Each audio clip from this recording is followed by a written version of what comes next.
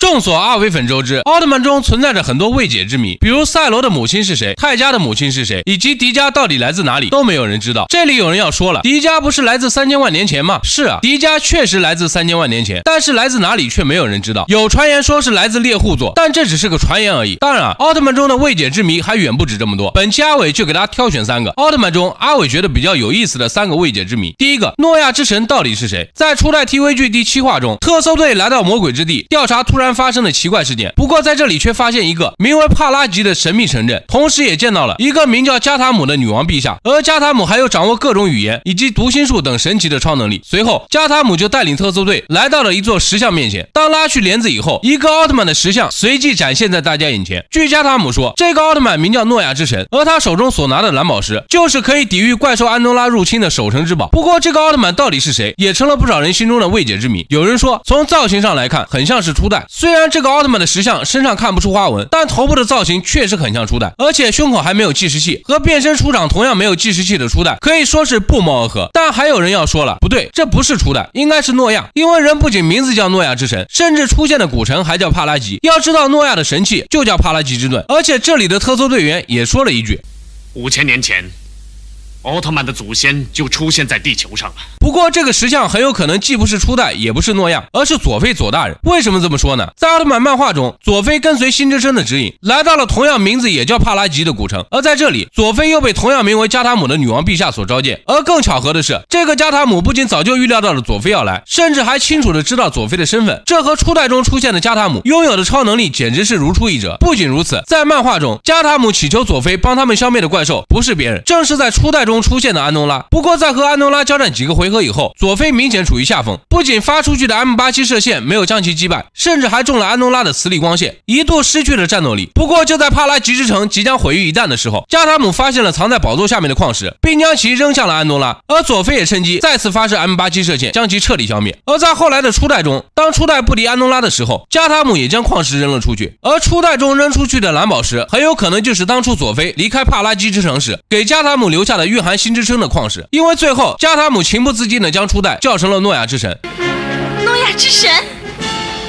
毕竟初代和佐菲长得太像，况且那时候的佐菲还没出息，胸口也没有星之徽章，认错也很正常。所以综上所述，真相大概率是在佐菲战败安东拉离开帕拉基之城以后，加塔姆就命人修建了佐菲的石像，并放上了星之声矿石，以此来震慑安东拉。但至于为什么要将其称为诺亚之神，并且没有将计时器加上去，这个就不得而知了。所以也就成了未解之谜。当然，这只是漫画中的剧情和 TV 剧中的剧情高度重合而已。至于真相到底是不是这样，大家自行分辨啊。毕竟在很多人的心里。漫画剧情不能作为正史来看。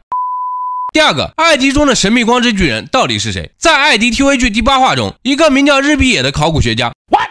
拿出古人制造的怪兽玩具，并给师弟猛他们讲述了一个离奇的故事。早在三千年前，怪兽塔布拉就出现在地球上，不仅对地球进行大肆破坏，甚至还把当时的古人类当做食物一样吃掉。该说不说，这塔布拉多少就有点过分了。虽然出现在地球上的怪兽大部分都不是什么好东西，但是人也不吃人呢。不过就在古人类即将成为塔布拉口中时的危险时刻，一个神秘的光之巨人出现了。从身高、体型以及轮廓来看，这个神秘奥特曼的外形和艾迪十分相似，并且人最终还使用 L 型手势。光线将塔布拉击败，然后将其封印在了石苍山里。不过让很多人疑惑的是，这个来历不明的奥特曼到底是谁？这时候有人要说了，这不就是艾迪吗？你看那嘴，还有那腹部隐约可见的扣带，这就是艾迪本迪啊！但其实吧，这根本就不是艾迪，因为在史蒂蒙确认了日比野教授所说的并不是编造出来的故事以后，下意识的自言自语说了这么一句：三千年前の光の巨人が ウルトラマンだとしたら、僕の遠い祖先だ。だとすると、大和先生？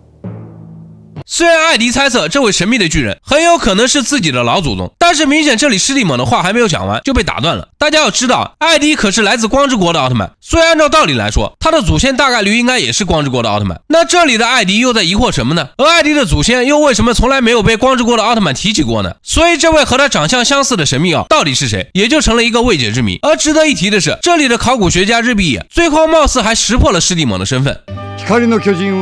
普段は人間の姿をしておると書かれてあったんでね。第三个，贝利亚的计时器为什么从来没闪过？大家都知道，贝利亚在黑化之前，人不仅是正儿八经的光之国奥特曼，而且还属于战力强悍的强力奥。而所有光之国的奥特曼呢，都有一个特点，就是当在地球消耗巨大的能量，或者战斗时间即将超时时，奥特曼胸口的计时器都会闪烁。但不知道大家有没有发现，贝利亚胸口的计时器好像只有他在被逐出光之国以后闪过那么一次，而自从黑化以后就再也没闪过。哪怕是后来的极恶贝利亚，被赛罗用卡雷兰分子酶直接打进了计时器里，人都不带闪一下甚至最后被大孝子杰德彻底战败，计时器也都没闪一下。所以为什么黑化了计时器就不闪了？到目前为止也就成了一个谜。当然，作为光之国黑化奥的二号人物，托雷基亚在黑化以后，胸口的计时器直接就被封印上了。而至于计时器是托雷基亚自己封印的，还是被人封印的，貌似也没有人知道。所以，难道奥特曼黑化以后，要么就是不闪红灯了，要么就是把计时器保护起来了？你要是这样的话，那那些渴望变强的奥特曼，恐怕也经不起黑化的考验吧？好了，以上就是本期视频的内容，纯为阿伟个人观点，如有错误的地方，欢迎大家指正补充。关注我，带你了解更多奥特曼。